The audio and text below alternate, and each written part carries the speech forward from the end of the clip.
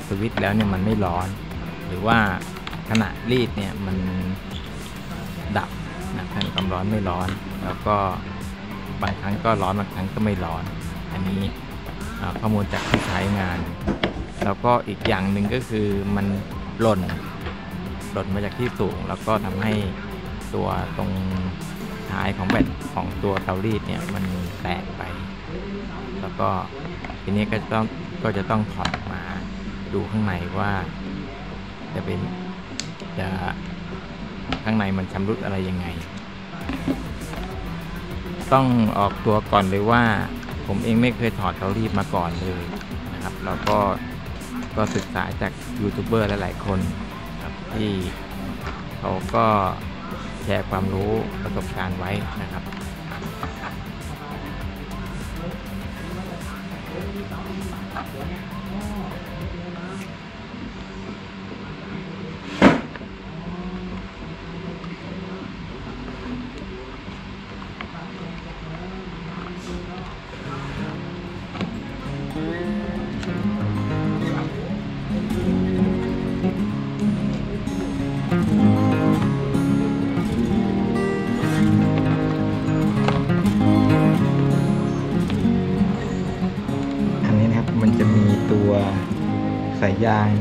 ต่อจากด้านหน้า ตัวฉีดน้ำออกมาเนี่ยเราอาจจะต้องถอดตรงนี้ออกก่อนไม่งั้นชุดนี้จะออกไม่ได้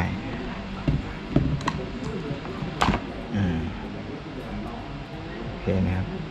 จริงๆเนี่ยจะต้องต้องเอาพลาสติกตัวนี้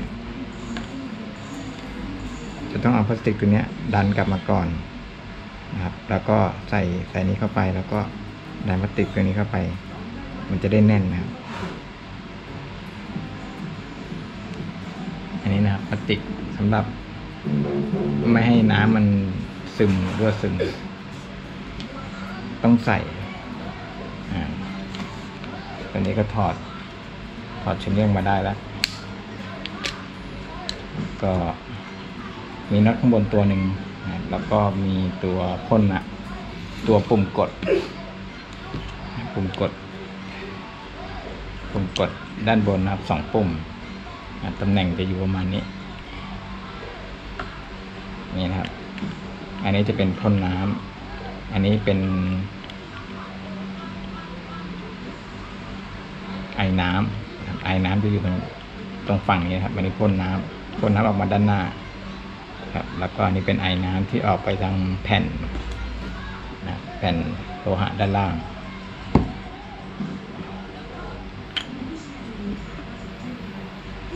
ตัวเนี้ยอาการมันก็คือ เสียบแล้ว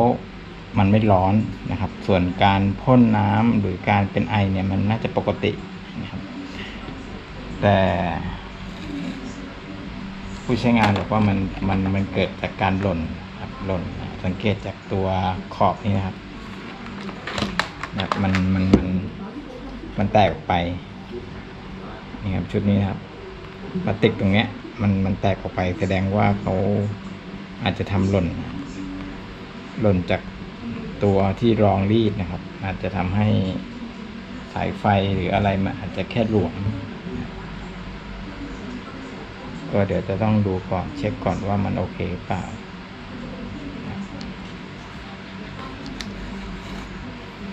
อันนี้คือชุดข้างหลังมันนะครับ เบื้องต้นเท่าที่ดูเนี่ยมันก็ยัง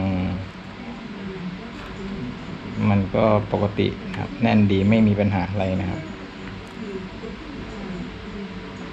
ตรงจุดต่อนี่ก็ไม่น่าจะมีปัญหาอะไร เดี๋ยวผมจะถอดเข้าไปข้างในอีกทีนึงว่าในชุดในทีนครับว่าข้างในเป็นมีปัญหาอะไรหรือเปล่า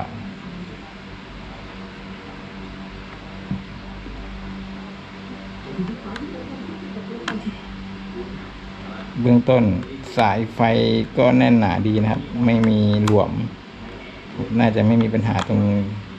ตรงจุดข้อต่ออาจจะมีปัญหาตรงข้างในเลย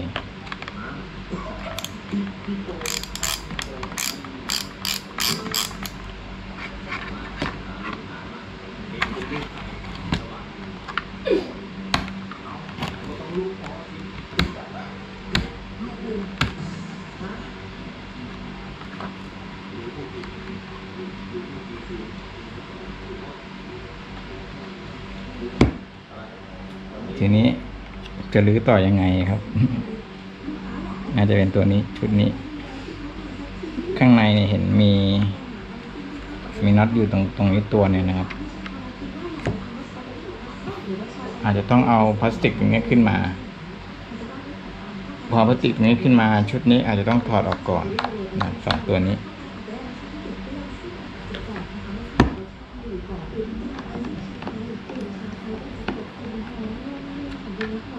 สิ่งสำคัญก็คือต้องจำให้ได้นะ ถ้าจำไม่ได้ต้องถ่ายรูปไว้ว่า ถอด อันไหนก่อนหลังนะครับเพราะว่าเดี๋ยวเวลาตอนใส่เข้าไปเนี่ย จะมีปัญหาเรื่องการประกอบพอถอดน็อตตัวนี้ไปสองตัวแล้วก็ถอดชุดนี้ออกมา ตรงนี้ดึงขึ้นมาตรงๆนะครับ มัน มันจะเป็นเหมือนสปริง แล้วก็มีเหมือนชุดปั๊มนะครับ ตรงนี้ถ้าเรามือรูปๆไปมันจะออกเหนียวๆเดี๋ยวคงจะต้องไปล้างให้เอี่ยมๆ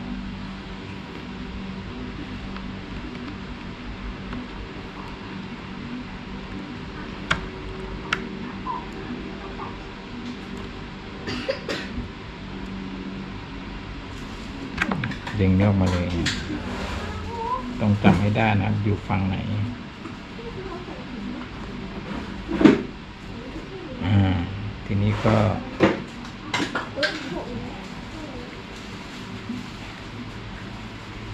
ซ้ายขวานะการวางก็มีผลเหมือนกันนี่นะถอดถอดเทนี้มา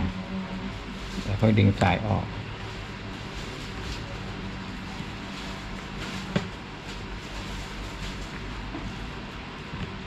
อ่า ทีนี้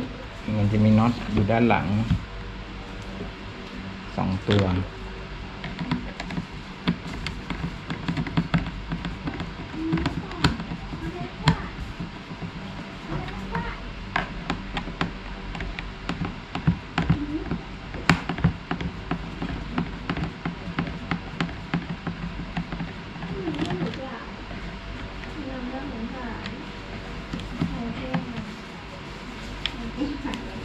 จำน็อตนะเพราะว่าน็อตอันนี้มันจะมีปีก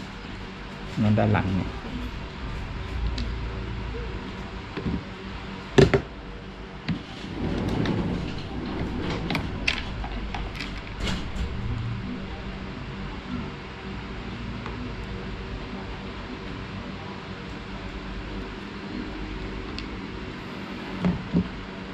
ขยับดูก่อน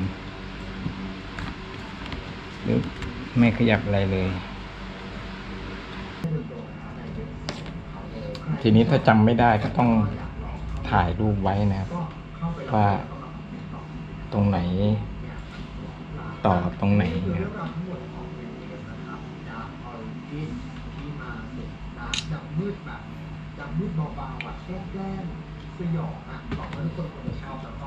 ก่อนหน้านี้เราถอดน็อตตัวนี้ไปแต่ยังแต่ยังออกไม่ได้นะครับ เพราะว่า มันจะมีน็อตที่อยู่ตรงด้านหน้า แต่มันอยู่ข้างในนะครับ ตรงเนี้ย มันมีพลาสติกหุ้มอยู่ เราจะต้องถอดฝาตัวนี้ออกก่อน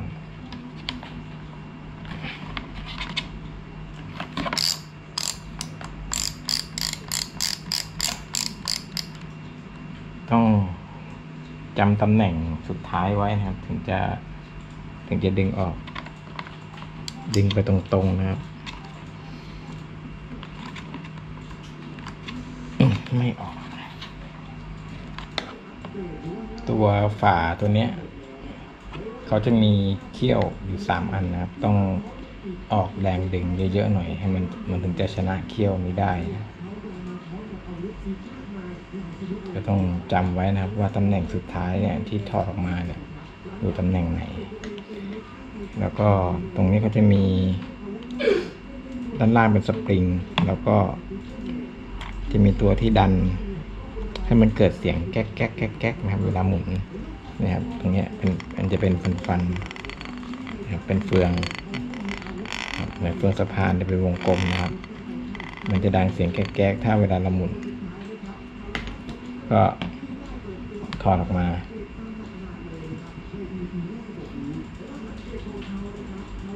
นะครับเป็นสปริง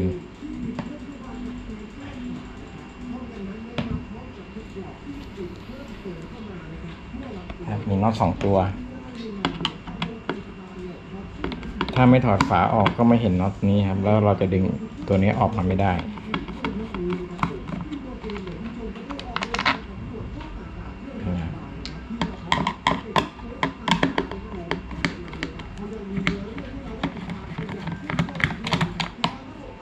ดูด้านนอกทะลุพลาสติกเข้าไปมันก็มองไม่เห็นนะครับ อ่า ทีนี้ จะเริ่มถอดขึ้นมาละ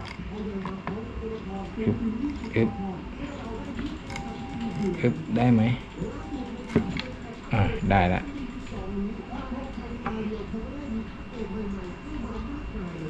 อะอึบได้ละ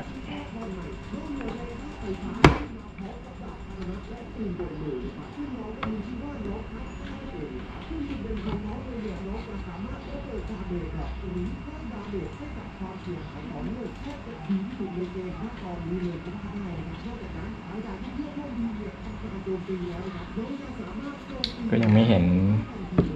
ข้างในอยู่ดีนะครับ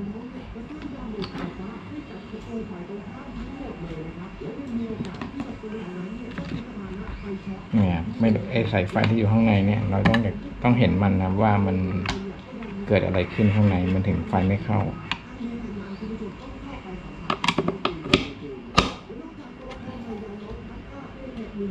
ก็ต้องถอดน็อตอีก ถอดสกรูอีกสามตัว นี่ถอดออกก่อนครับ เดี๋ยว ถ่ายรูปไว้ก่อนจำไม่ได้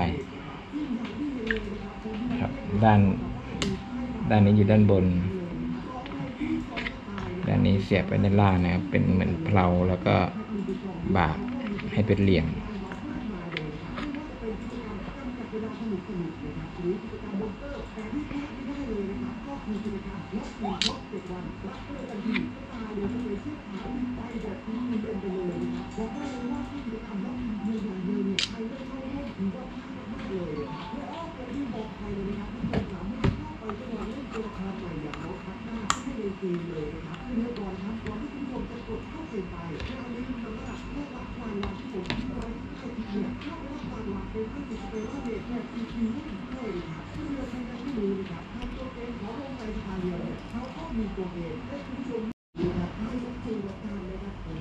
ต่อไปก็ถอดสกรูนะครับสามตัวนี้นะครับ ตัวนี้แสดงว่ายังไม่เคยยังไม่เคยแกะเลยนะครับ เพราะว่าดูแล้ว ยังไม่มีร่องรอยการถอด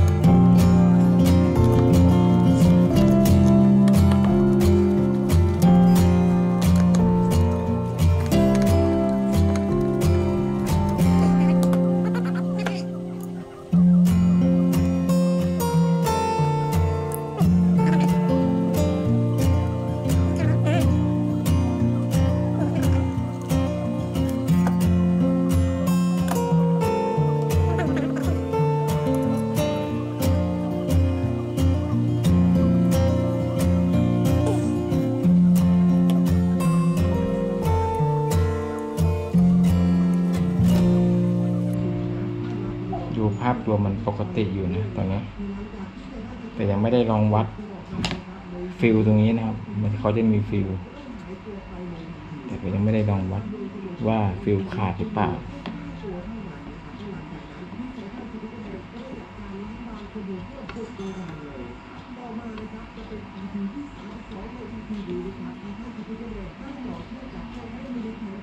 มีขี้ฝุ่นบ้างนะครับแต่จะเป็นไปได้ว่าคอนแทค ทคมันสกปรก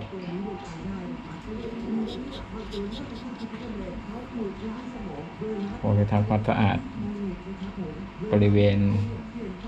รอบ ๆ ก่อน แล้วก็หน้าคอนแทคเนี่ยอาจจะต้องขัดใหม่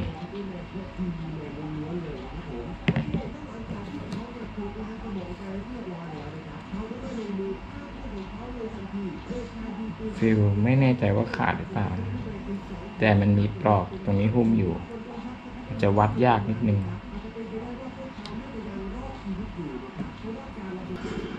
ตอนนี้สันนิษฐานไว้สองอย่าง ก็คือตัวฟิวส์ที่อยู่ตรงนี้ฟิวส์มันอาจจะขาดนะเดี๋ยวจะลองวัดดูว่าฟิวส์ขาดหรือเปล่า กับอีกอย่างหนึ่งก็คือฝุ่นที่ไปอยู่ที่หน้าคอนแทคเนี่ย มันอาจจะมีฝุ่นมีอะไรแล้วทำให้มันติด มั่งไม่ติดมั่งครับเวลาเสียบปลั๊กแล้วเปิดหมุนสวิตช์แล้วเนี่ย ทีนี้ก็เลย เดี๋ยวจะลองวัดดูในการวัดเนี่ยจะใช้ไม่ใช่มิเตอร์นะครับ จะเป็น buzzer แค่มีเสียงครับมีเสียง ถ้าเราเอา เอาสายเชื่อมต่อกันเนี่ยเช็คเนี่ยก็คือจะแค่มีเสียง ก็จะเช็คว่าฟิวส์เนี่ยขาดหรือเปล่านะครับอันนี้ก็คือทางเข้านะครับ ด้านนี้นะครับแล้วก็ตัวสายเนี่ยนะครับ ก็คือไฟจะเข้าทางนี้นะครับ ผ่านฟิวแล้วมาที่ตรงนี้นะครับ โดยโดยจี้ที่ทางเข้าก่อนแล้วก็จี้ที่ตัวนี้แสดงว่าฟิวไม่ได้ขาดนะครับ แล้วก็ตัวคอนแทคนะเวลาเราหมุน หมุนตรงนี้ครับ ถ้าเราหมุนไปเนี่ย เราจะได้ยินเสียงมันดังมันดังมันหน้าคอนแทคมันสัมผัสนะครับเนี่ยครับพอเราหมุนเปิดปุ๊บหน้าคอนแทคสัมผัส ก็เดี๋ยวจะเอาอ่าตัวนี้ตัวนี้ยังไม่สัมผัสนะครับ ยังไม่ดังนะครับ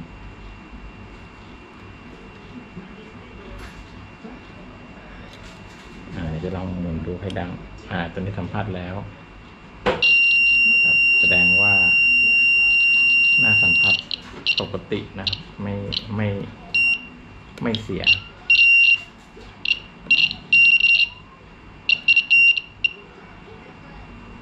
เดี๋ยวจะวางไว้แล้วลองหมุนดู นี้เนี่ยก็ต้องระมัดระวังด้วยนะครับ เนื่องจากว่าเป็นอุปกรณ์ไฟฟ้าถ้า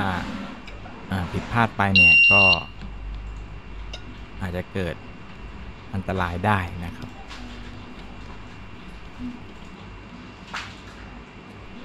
พอมาถึงจุดนี้แล้วเนี่ย ก็ลองประเมินดูนะครับว่าที่ จากสภาพที่เปิดดูเนี่ย ก็คิดว่าน่าจะซ่อมได้ แต่ที่ต่างว่าถ้าไม่ได้ ก็มีอยู่สองทางเลือกก็คือ ส่งไปซ่อม ที่ร้านซ่อมอุปกรณ์ไฟฟ้าหรือว่าจะซื้อใหม่มาใช้นะครับ แต่ในเคสเนี่ยพอดีเจ้าของเนี่ยเขาซื้อใหม่มาใช้แล้ว อันนี้ก็ ซ่อมได้หรือไม่ได้ก็ไม่เป็นไร ท่าที่สังเกตนะครับ ลูกยางที่ลองตรงแผ่นธาตุเนี่ยมันก็รู้สึกว่ามันจะเริ่มแข็งตัวนะมันไม่นิ่ม แสดงว่ามันอาจจะมีการเสื่อมไปบ้าง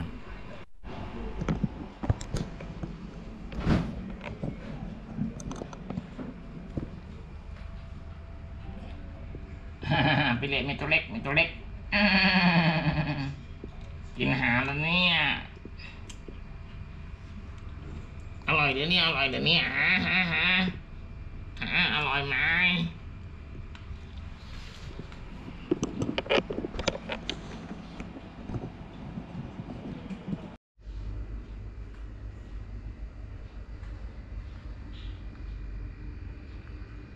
เขาไปเล็กสองก็ไปเล็กสองก็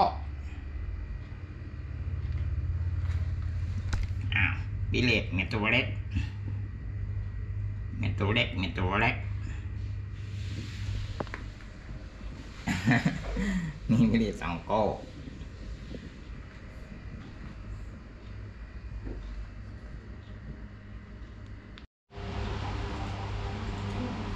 สำหรับชิ้นส่วนที่ถอดมาแล้วเนี่ยผมจะเอามาเรียงๆกันไว้นะว่าอันไหนถอดออกมาก่อนถอดทีหลัง เพราะว่าเดี๋ยวเวลาเราประกอบไปเนี่ยเราจะค่อยๆหยิบไปประกอบจนมันหมดนะครับ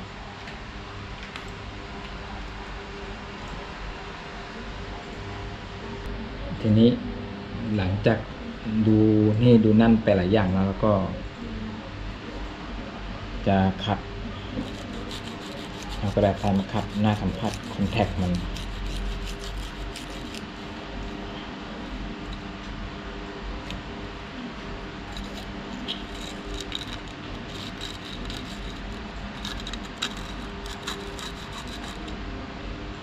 จะหมุนตัวสวิตช์นิดนึงนะครับ สังเกต จากกระดาษทรายพอเวลาหมุนแล้วมันจะตึง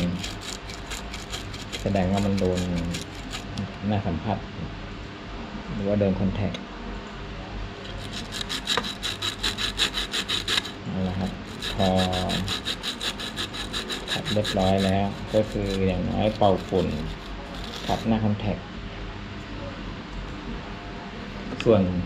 ภาพรวมของพวกสายไฟอย่างอื่นฟิวเช็คแล้วไม่ขาด ก็น่าจะโอเคอยู่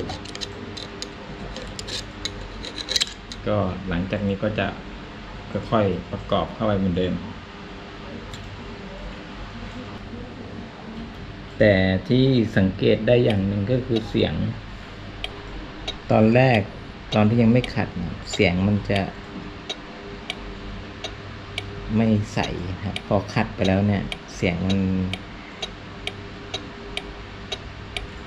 ดังดีขึ้นกว่าเดิม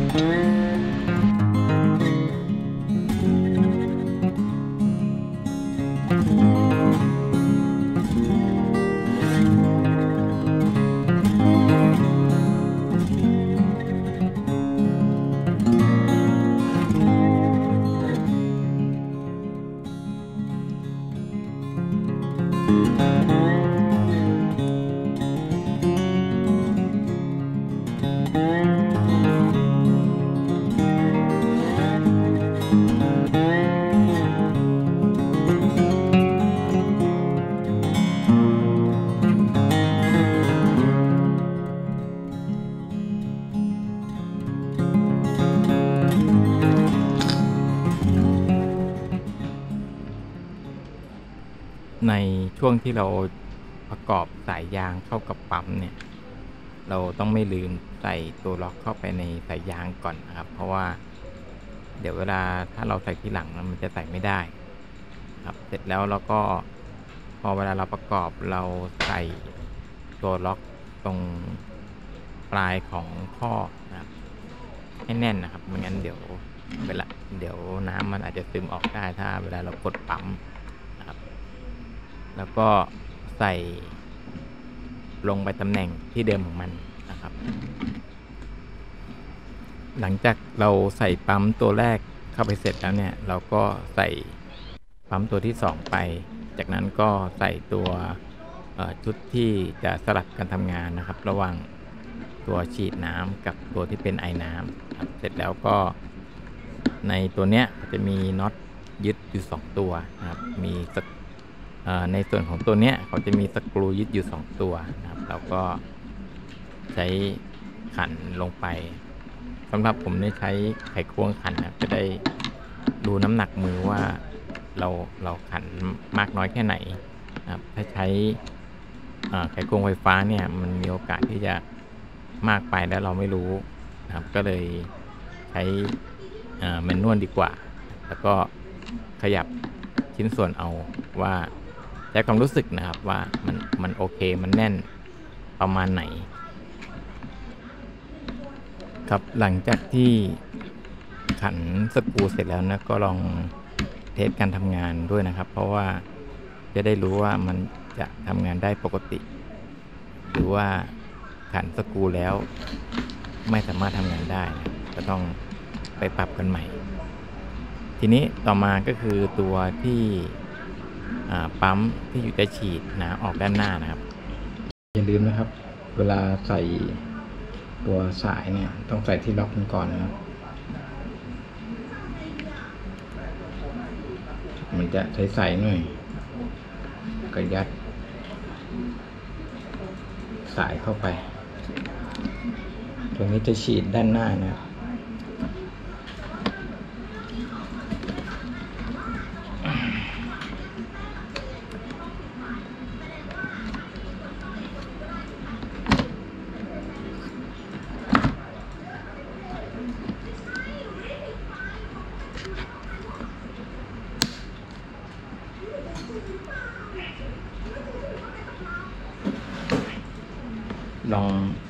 ดึงดูนะครับว่ามันมันหลวมหรือเปล่า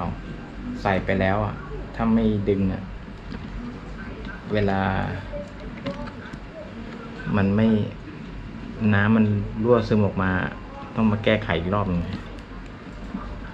ดึงให้ชัวร์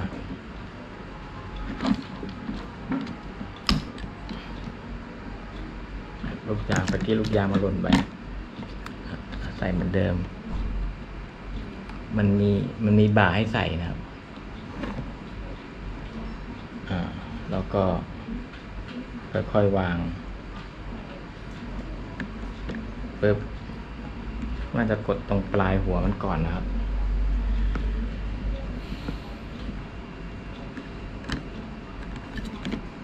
ตัวนี้จะมีน็อตหนึ่งตัว ข้างบนคาอยู่น็อตเป็นน็อตคาอยู่ อะ ตัวนี้ น่าจะเข้าแล้ว เข้าล็อก อืม ก็ใส่น็อต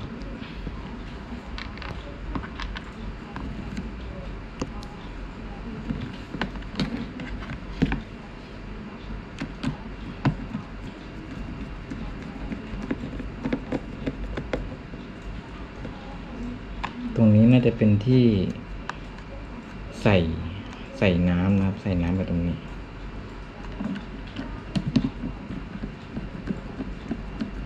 ขันน็อตสองตัว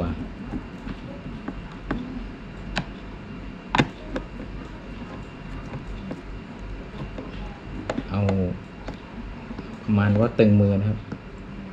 เพราะมันเป็นพลาสติกมันอาจจะหวาน พอหวานแล้วก็ กียวรูดแล้วก็ซ่อมยากอีก ลองเทสกดปั๊มก่อนนะครับปั๊ม ก่อนที่จะใส่ปุ่มลงไป เทสอ่าน่าจะใช้ได้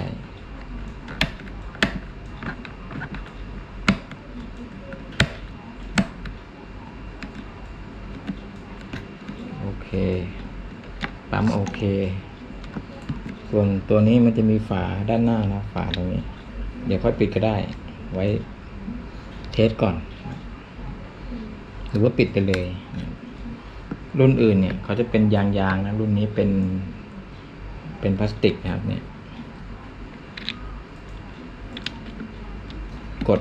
ไปแล้วค่อนข้างจะออกยากนะครับ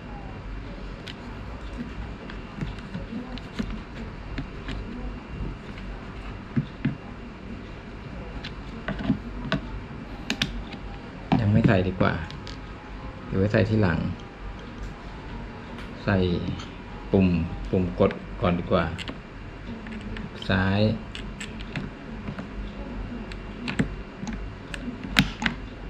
อะเหมือนเดิม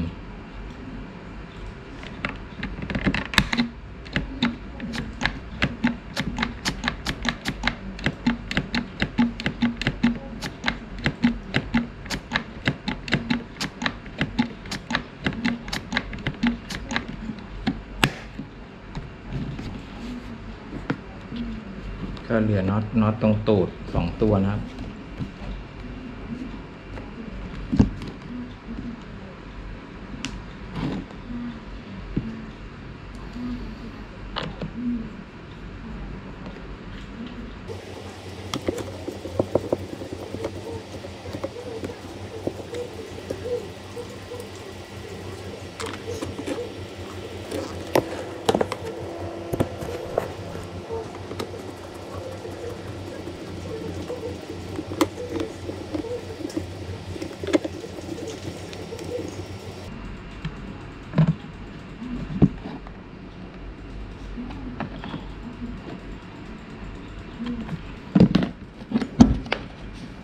โอเคแล้วนะครับ ใส่ แต่ตรงนี้มันจะ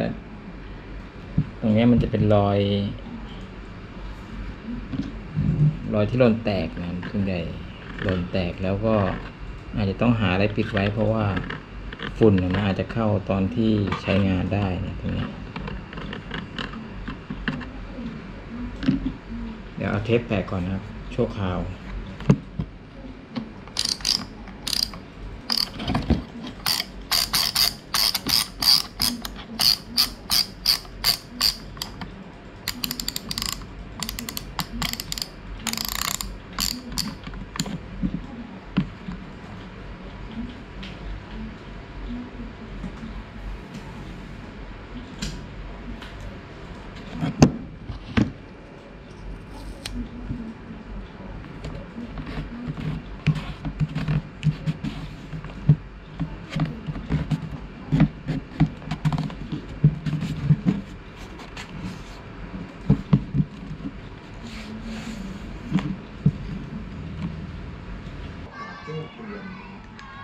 จะเป็นยังไง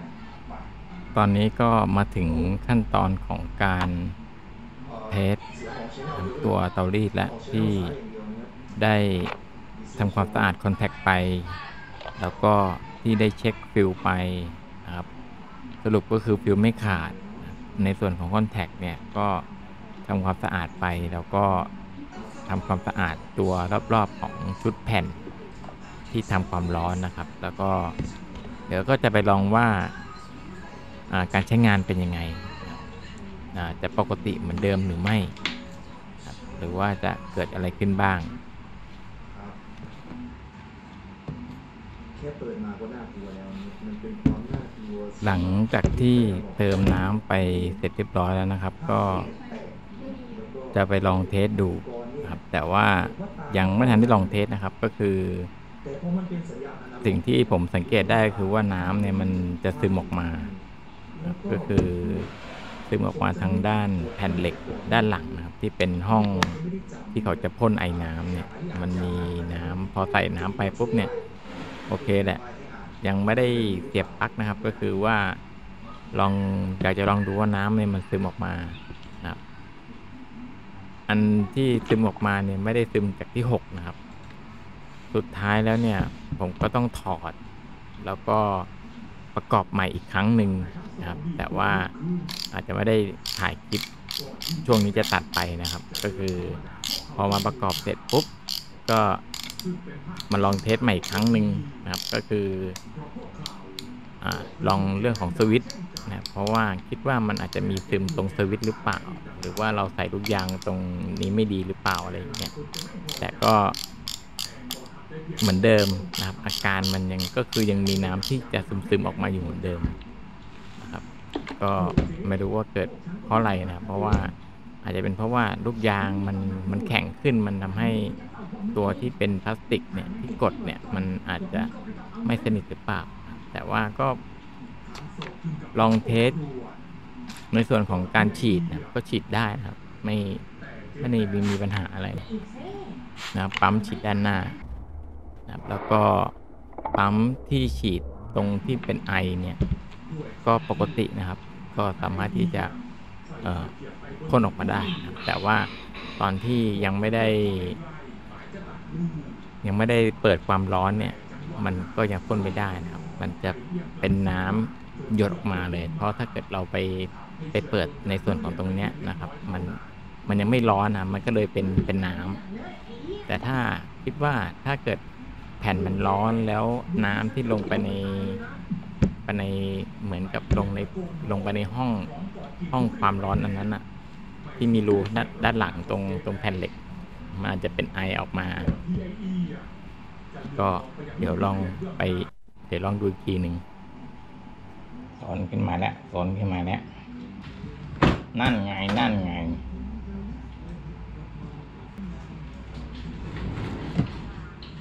สนไง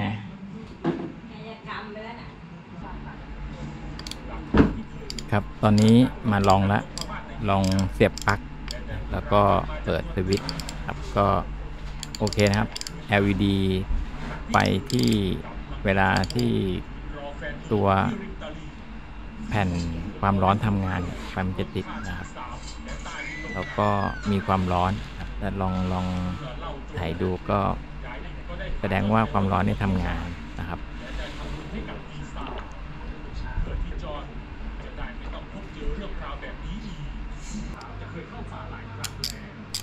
ก็เลยจะลองเทสรีดผ้าดูว่าจะเป็นยังไง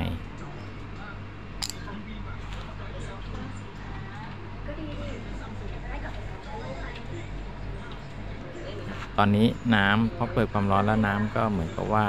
จะ ซึมน้อยลงนะเพราะว่าเพราะว่ามันแผ่นโลหะมันร้อนเราก็เลยลองหัวฉีดดูว่าฉีดโอเคไหมก็โอเคอยู่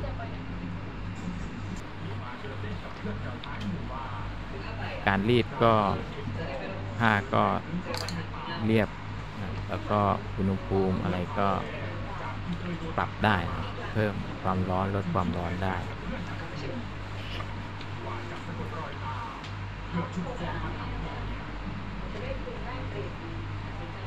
พอตอนที่เรา